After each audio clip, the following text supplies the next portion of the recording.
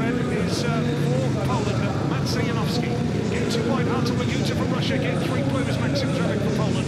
And Sayfutdinov going off the outside in yellow. Poland on 14 so far tonight, and Russia on 18. And this is both these nations' final outing of the night. making starts from everywhere. Big race. Yeah, in number 19, this will be a belter. Green lights on, here we go. Great start, Janowski for Poland off the inside gate. Janowski has the lead. Laguta tries the inside switch. He's all over it on the inside, and he's Got got it. And now Sayfutdinov, five points to Russia. As it stands right now, this will put them two ahead of Great Britain on the night. A 5-1 right now. Out of the Laguta looks over his shoulder. Emil Sayfutdinov is with him as well. Oh, no! Disaster. Oh,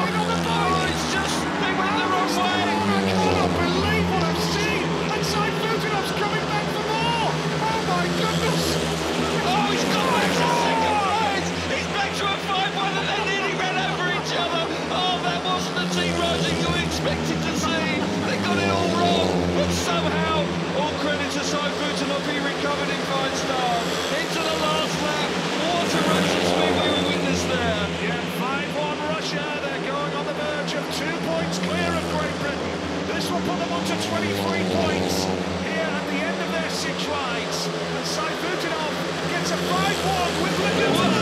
Whoa, he punches the air. He's a hero. He is a hero there, Sayfutdinov.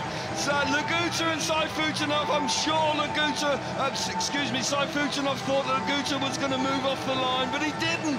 And Sayfutdinov dived in there and hit his teammate. Somehow he managed to wind it on Poland far from their best tonight.